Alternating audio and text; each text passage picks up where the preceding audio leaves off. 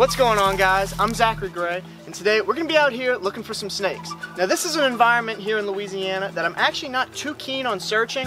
I haven't searched it too much but there sure is a lot out here that I haven't found yet. Let's go.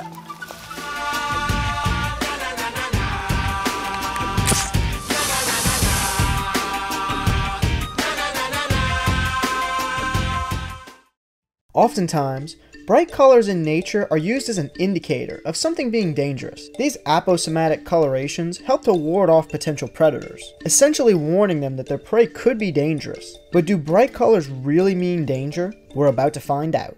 Now there are a lot of similar species here to Florida, but uh, I haven't hunted this as much.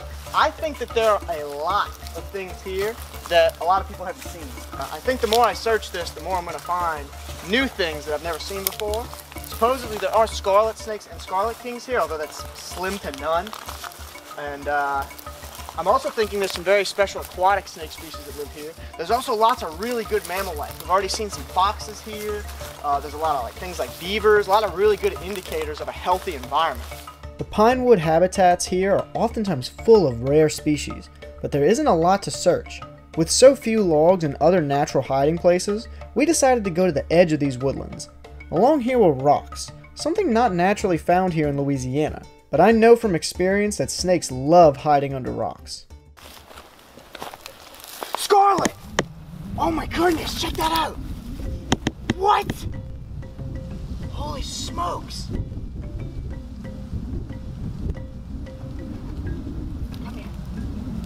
What? Look at that little tricolor beauty. Holy smokes! Well guys, this here is a Louisiana, or I should really say a northern scarlet snake. Look at that little tricolor. This is one of three non-venomous tricolor snakes that we get here in the state of Louisiana. And that's a fat one. This is about as big as the northern scarlet gets. I guess some massive ones could be bigger, but uh, that's about as big as they typically get. Nice and healthy, little bit in shed. It looks like he's right about to shed. Might have cleared up though, so uh, you can kind of see some of that red and white. And he's nice and fat. Look how fat he is. That is very interesting. That's a pretty solid, solid rock to be under. I'm glad I didn't crush him. I wasn't thinking a snake would be under that, that's for sure. Wow, that is insane. Now you can tell a scarlet snake from a scarlet king snake pretty easily on finding one, especially the face. The bands around the head look very, very different. And then the next thing you can see, obviously, once you pick them up, is that white belly. Scarlet kings typically have patterning or banding on their belly as well. Scarlet snakes will not have that, especially northerns. Northern scarlets especially have less patterning than the, uh, the Floridas. Now, I've actually gotten to see Florida scarlet snakes before, about this size actually. And uh, obviously, it's a little bit more special to me to see one in my home state. They are very rare here. Uh, I would say once in a blue moon, these snakes really are found here. Now, this snake would oftentimes unfortunately be killed for having those bright colorations. Bright colors almost mean nothing to a snake. You can have loads of different snakes with loads of bright colors and it doesn't mean that they're venomous. And you might think, well remember the, the red on yellow rule.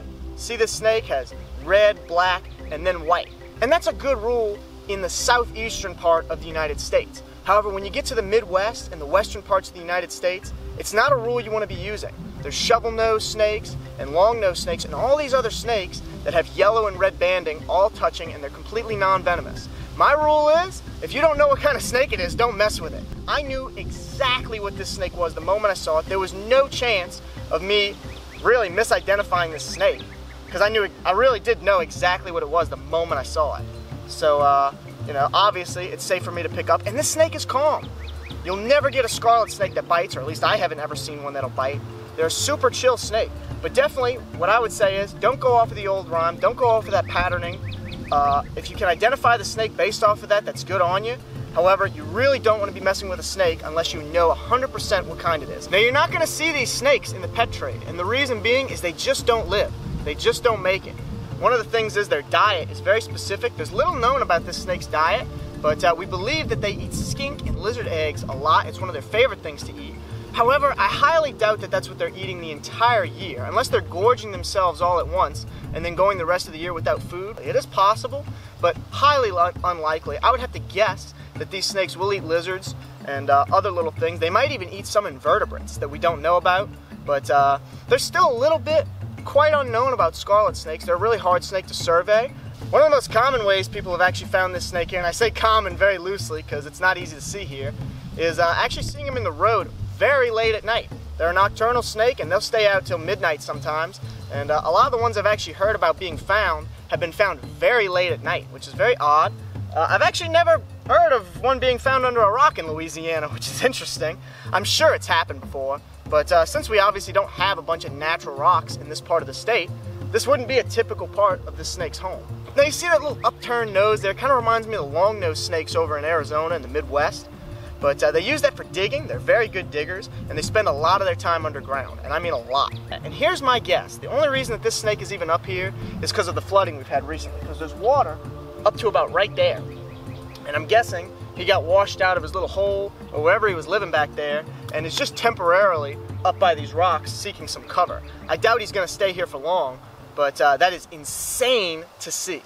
Well guys, if you enjoyed this video, make sure to go and check out the one we did with the Scarlet King Snake over in South Florida. A really special snake, and we will see you guys next time. All right, see you little buddy. Just gonna let him crawl right back under his rock. He's got a nice big gap there. There you go, bud. Boop, boop, boop.